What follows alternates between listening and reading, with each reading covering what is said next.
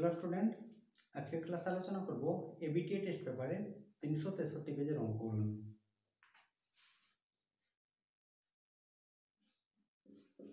একের দাগে একের কোশ্চেন বার্ষিক চার পার্সেন্ট হার সুদে, তাহলে আর সমান হচ্ছে চার পার্সেন্ট এক্স বছরে টি ইকুয়াল হচ্ছে এক্স বছর। সবৃদ্ধি মূল এ সমান সাত টাকা হলে আসল হবে। আসলের মান বের করতে বলেছে। আমরা ধরে নিচ্ছি পি আসল সমান হচ্ছে পি টাকা।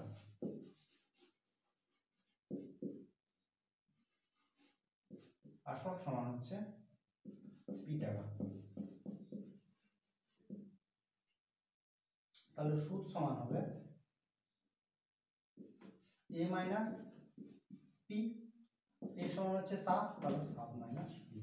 হচ্ছে সুদ তাহলে আমরা জানি আর ইকুয়াল টু হয় পি টি আর বাই একশো বা আর সমান পেলাম সেভেন মাইনাস পি পি হচ্ছে আসল ইন্টু সময়।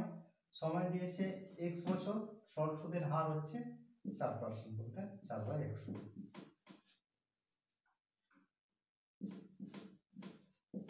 পঁচিশ বা তাহলে পাশে থাকছে হচ্ছে পিএক্স সমান সাত, আর পঁচিশ গুণ করলে আমরা পাবো সাত পাঁচে পঁয়ত্রিশ, সাত দুই চোদ্দ চোদ্দ আর তিন হচ্ছে সতেরো, একশো পঁচাত্তর, মাইনাস মাইনাস হচ্ছে পঁচিশ পি, বা এটা এই পাশে যদি আসে, তাহলে আমরা plus P P x plus পঁচিশ পি ইজ ইকুয়াল টু হচ্ছে একশো পঁচাত্তর। বা এক্সটা কমন হচ্ছে সরি এক্স নয় পিটা কমন হচ্ছে, পড়ে থাকছে তাহলে এক্স প্লাস টোয়েন্টি ফাইভ সমান হচ্ছে একশো পঁচাত্তর। বা পি সমান হচ্ছে, আসল সমান হচ্ছে একশো পঁচাত্তর বাই হচ্ছে এক্স প্লাস টোয়েন্টি ফাইভ এটা হচ্ছে তোমাদের answer rather two k x square plus three x plus four is equal to zero সমীকরণে সমীকরণের বীজদ্বয় পরস্পরের অনন্য হলে কে এর মান কত? তাহলে এখানে বলেছে এই সমীকরণের বীজদ্বয় পরস্পর অনন্য হলে কে এর মান বের করতে হবে। তাহলে আমরা ধরে নিচ্ছি একটি বীজ হচ্ছে আলফা, তাহলে অপর বীজ হবে ওয়ান বাই আলফা একটি বীজ অন্যে অনন্য বলেছে, তাহলে আলফা হলে ওয়ান বাই আলফা তাহলে alpha into one by alpha বীজ দ্বয়ের গুণফল সমান হয় সি বাই এ সি হচ্ছে এটা বাই এ বলতে এটা। তাহলে ফোর বাই এ হচ্ছে টু কে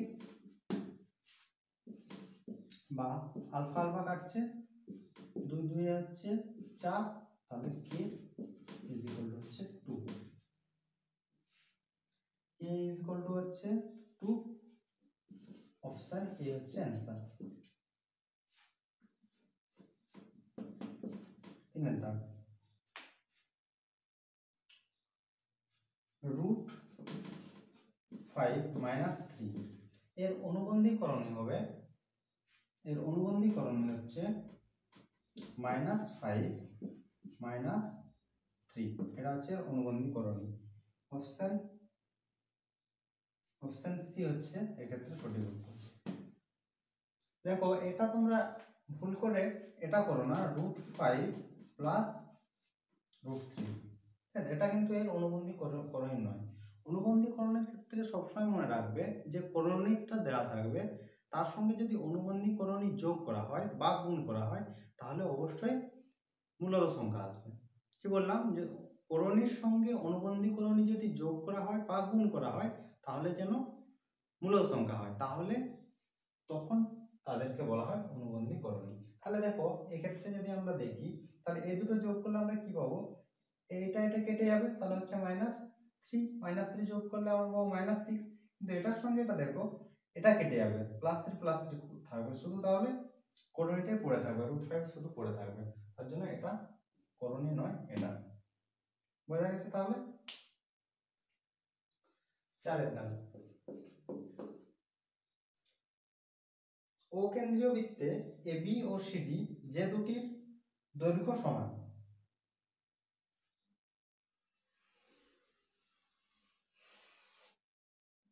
ও কেন্দ্রীয় বৃত্তের এবি আর সিডি দুটি হচ্ছে যে এই দুটো যে দৈর্ঘ্য বলেছে সমান। কোণ এ ও বি সমান সিক্সটি ডিগ্রি। তাহলে এ ও বি বলতে এই কোণটি বলেছে সিক্সটি ডিগ্রি। কোণ সিওডির মান কত? এর মান হবে সিক্সটি ডিগ্রি। অ্যান্সার হচ্ছে সিক্সটি ডিগ্রি তার কারণ দেখো, এটা হচ্ছে সমান, এটা হচ্ছে সমান, এগুলো হচ্ছে ব্যাসার্ধ। তাহলে এই ত্রিভুজ এই ত্রিভুজ হচ্ছে সর্বসম ত্রিভুজ। সর্বসম ত্রিভুজের অনুরূপ কোণগুলো হচ্ছে সমান হয়? অনুরূপ বাহু সমান হয়, অনুরূপ কোণ সমান হয়। তাহলে এক্ষেত্রে অ্যান্সার হচ্ছে সিক্সটি ডিগ্রি সিক্সটি ডিগ্রি বলতে অপশন ডি অ্যান্সার হচ্ছে অপশন ডি এরপরের কোশ্চেন পাঁচের দাগ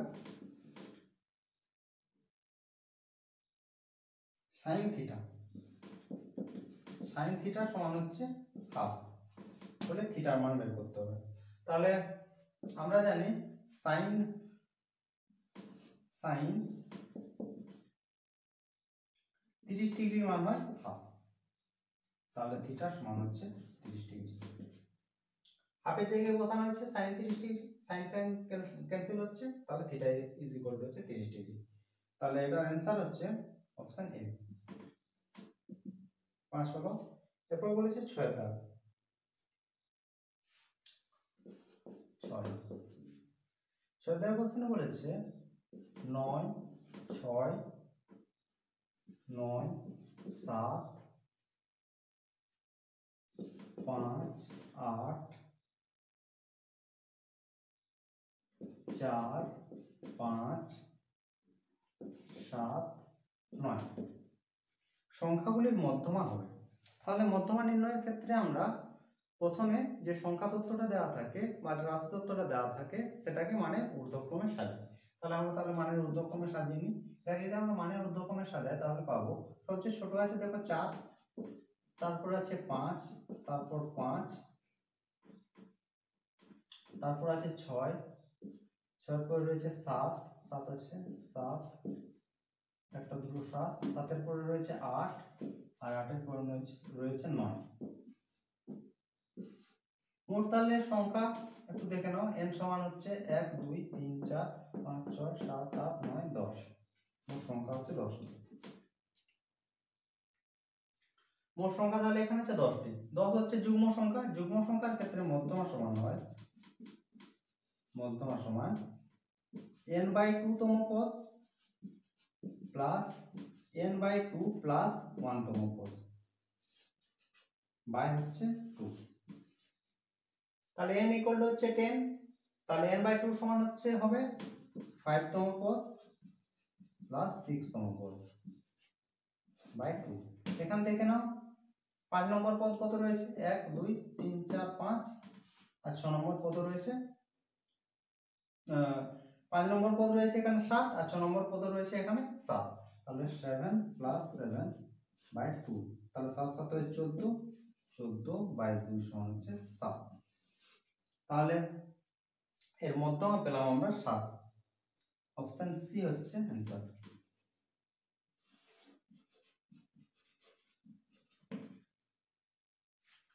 দাগের কোশ্চেন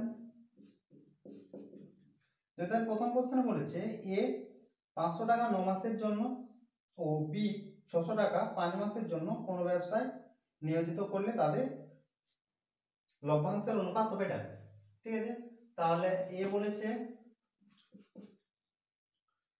পাঁচশো টাকা হচ্ছে ন মাসের জন্য। ন মাস। আর বি হচ্ছে ছশো টাকা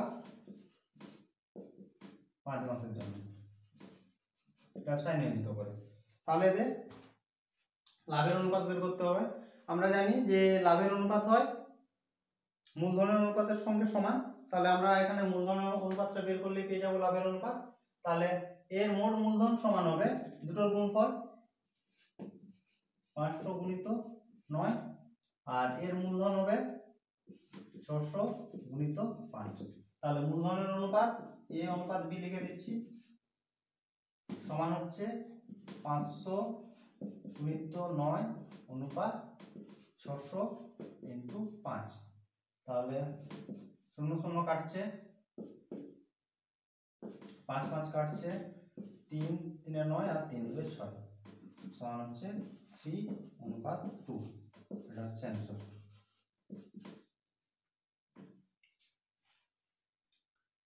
এরপর দুই দাগের question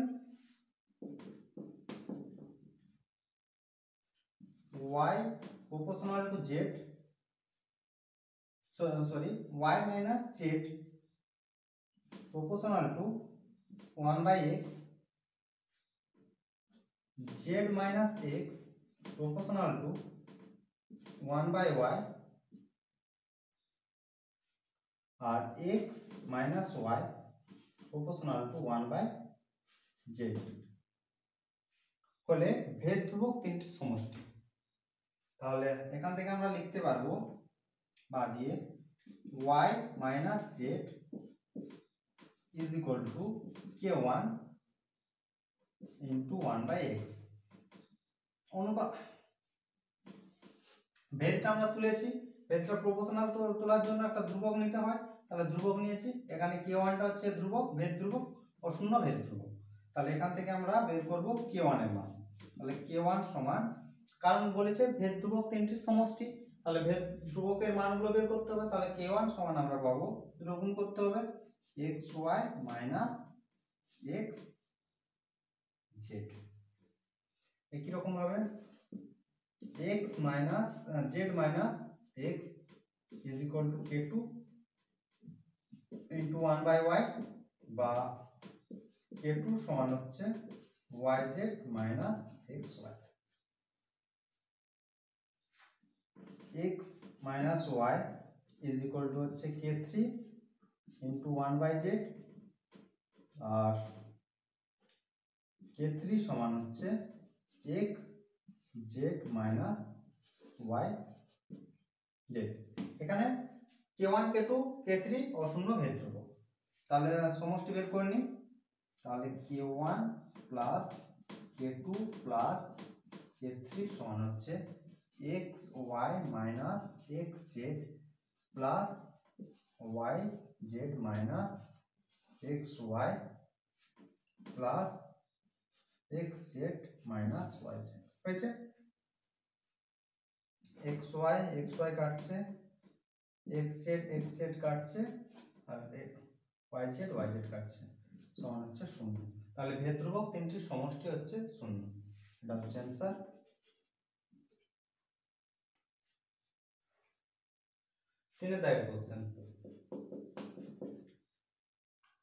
দুটি বৃত্ত পরস্পরকে বহিঃস্পর্শ করলে বৃত্তটির সাধারণ স্পর্শকের সংখ্যা ড্যাশ।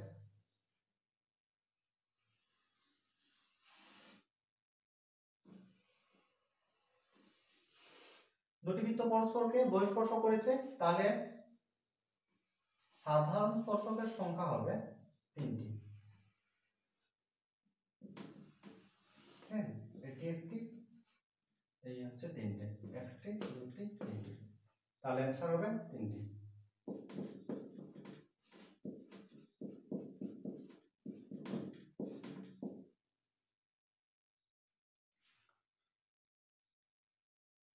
চার দাগের কোশ্চেন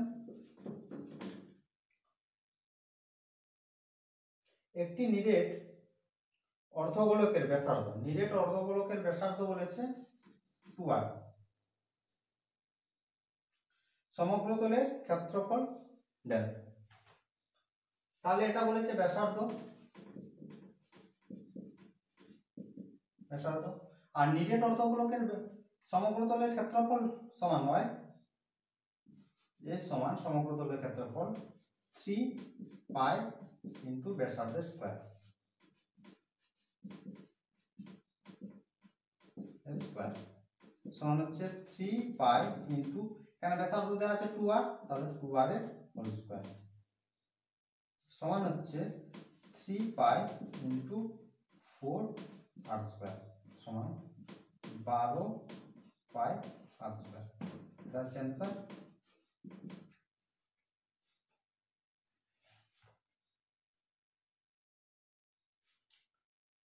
এরপর পাঁচের দাগ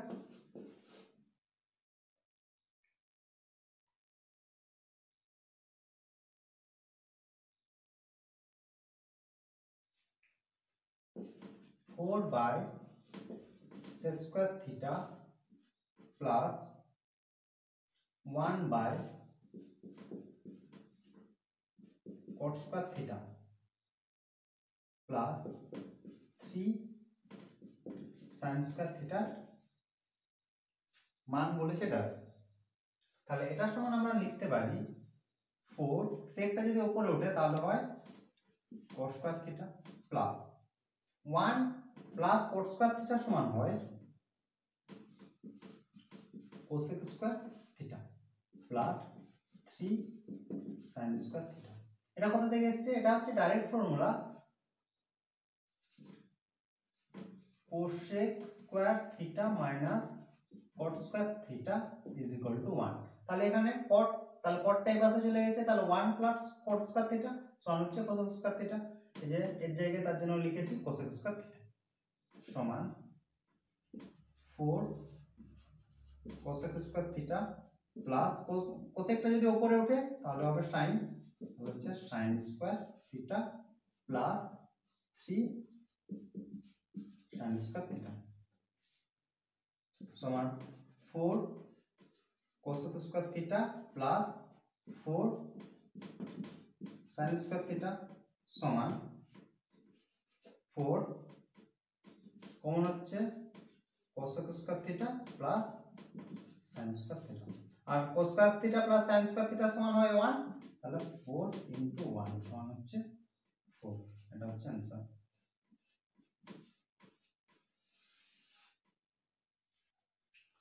ছয়ের দাগ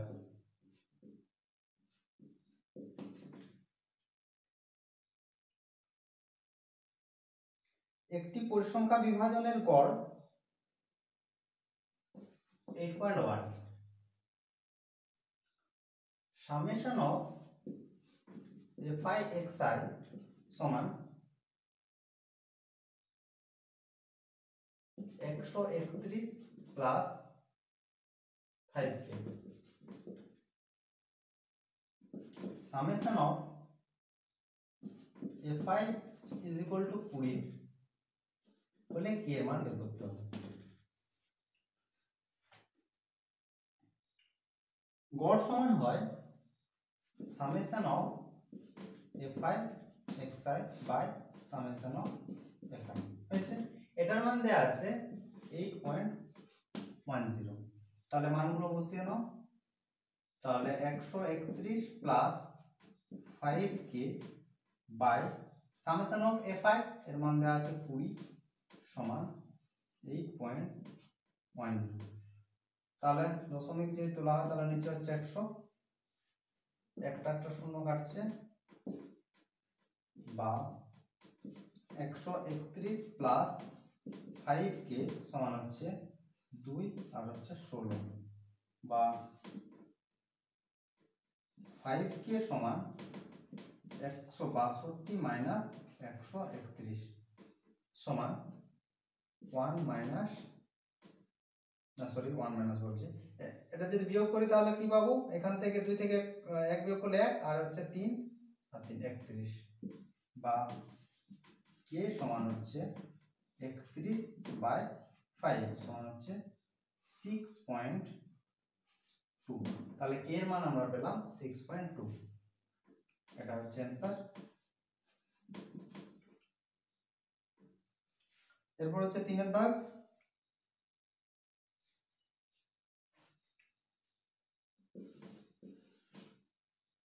তিনের প্রথম কোশ্চেন পি টাকার বার্ষিক আট পার্সেন্ট হার সুদে এক্স বছরের সবৃদ্ধি চক্র সমূল চক্রবৃদ্ধি এ এর সমান দিয়েছে P into one plus r by তিনশো whole to the power three x যেখানে সুদ তিন মাস অন্তর দেয়। তাহলে তিন মাস অন্তর দেয় বলতে বছরে চারবার দিচ্ছে। তাহলে এক্ষেত্রে সময় চক্রবৃদ্ধি হতো P into one plus r by four by একশো হোল টু দি পাওয়ার হতো ফোর এন এটা হচ্ছে ফোর এন বলতে এখানে এক্স দিয়েছে এক্স তিন মাস অন্তর যদি সুদ দেয়, তাহলে সমূল চক্রবৃদ্ধি হতো এটা।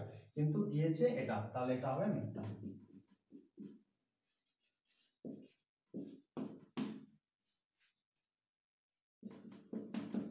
দেড়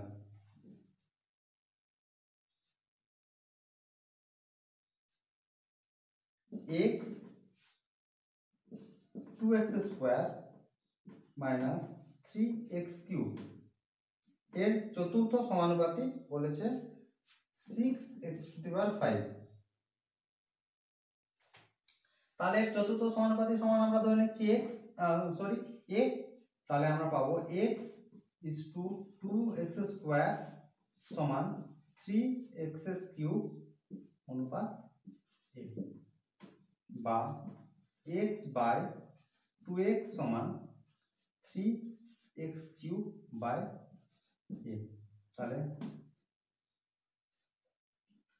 এখানে দেখো এক্স আর নিচে আছে এক্স স্কোয়ার তাহলে পড়ে থাকবে একটা এক্স বা এ সমান হচ্ছে, গুণ করলে পাবো আমরা six x x to the power four x to the power four আর এখানে দেওয়া আছে six x to the power five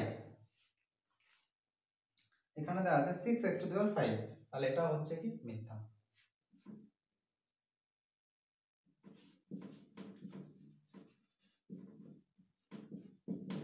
তাহলে সেকেন্ড কোশ্চেনের অ্যান্সার হচ্ছে মিথ্যা। এখানে দেখো শুধু x to the power five আছে আর আমরা পেলাম x to the power four তিনের দাগে তিন।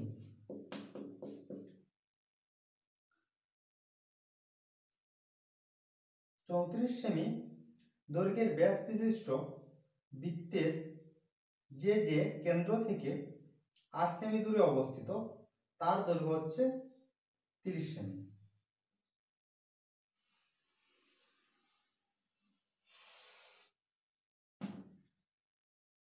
বৃত্তের ব্যাস বলেছে, ব্যাস সমান ব্যাস সমান হচ্ছে চৌত্রিশ সেমি।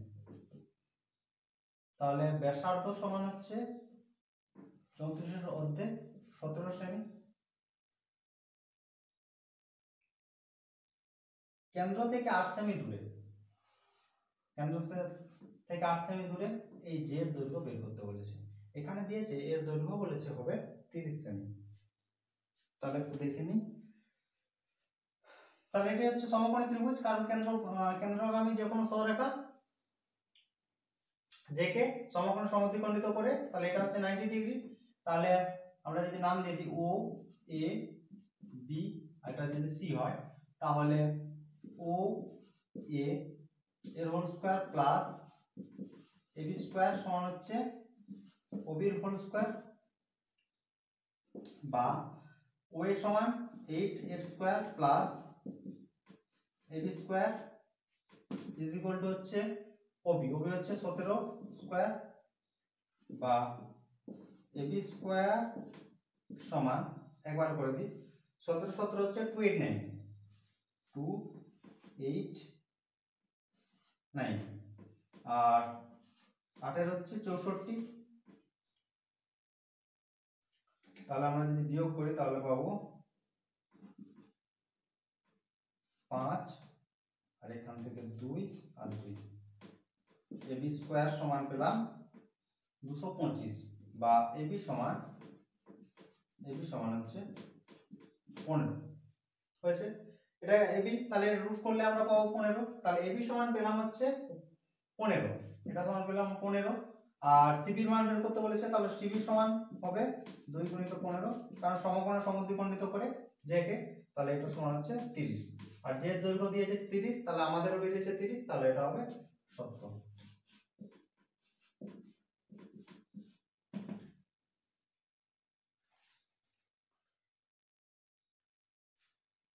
তারপর চারের দাগ। টেন থিটা এর মান কখনোই রুট টু হওয়া সম্ভব নয়, এটা হচ্ছে সত্য। টেন থিটার মান কোন সময় হবে? রুট টু হবে না। পাঁচের দাগ। একটি ঘনকের প্রতিটি ধারের দৈর্ঘ্য দ্বিগুণ হলে ঘনকটির আয়তন প্রথম ঘনকের আয়তনের আট গুণ হবে। তাহলে আমরা ধরে নিচ্ছি ঘনকের প্রতিটি ধারের দৈর্ঘ্য হচ্ছে এ তাহলে আয়তন সমান হচ্ছে ভি সমান ঘনকের আয়তন এ কিউ এরপর বলেছে যদি ধারের দৈর্ঘ্য দ্বিগুণ করা হয়, তাহলে ধারের দৈর্ঘ্য হবে টু এ তাহলে এখন আয়তন ভি ওয়ান সমান টু এ তার হোল কিউব টু এ তার হোল কিউব যদি করা হয়, তাহলে পাবো eight a cube a cube সমান পেয়েছি আমরা ভি বলতে আগের আয়তন, তাহলে এইট ইন্টু ভি তাহলে আগের আয়তনের আট গুণ, তাহলে এটা হচ্ছে সত্য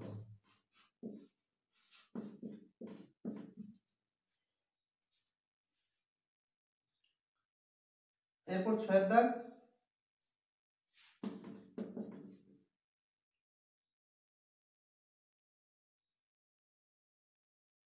দুই, তিন, নয়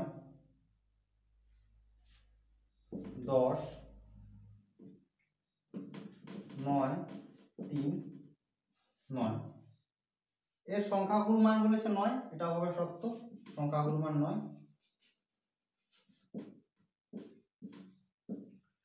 এখানে দেখো নয় হচ্ছে একবার, দুবার, তিনবার রয়েছে, আর বাকি সব একবার করে রয়েছে। তাহলে যার পরিসংখ্যা বেশি হয়, সেটাই হবে সংখ্যাগুরু মান। এক্ষেত্রে নয়ের পরিসংখ্যা বেশি, তাহলে এটা হচ্ছে, এর সংখ্যাগুরু মান হচ্ছে নাইন এটা হচ্ছে সত্য। তো এই ছিল আজকের ক্লাস আজকের ক্লাসে আলোচনা করলাম শুধুমাত্র এক নাম্বার কোশ্চেনগুলো নিয়ে। বাকি দু নাম্বার কোশ্চেন আলোচনা করব। তিন, চার, পাঁচ, এগুলো তোমরা নিজের থেকে প্র্যাকটিস করো। ম্যাক্সিমাম কোশ্চেনগুলোই বইয়ে থেকে বইয়ের থেকেই আছে। যেগুলো বইয়ে নেই, সেগুলো আমি তোমাদের করিয়ে দেবো। তো নিজের থেকে একটু ট্রাই করো। আর টেক্সট বুক যেটা আছে, সেটা তোমরা ভালো করে রিভাইজ করো ম্যাক্সিমাম কোশ্চেন তোমাদের সেখান থেকেই আসবে। ঠিক আছে তাহলে? তো আজ এই পর্যন্তই। তোমরা সব ভালো থেকো। Bye bye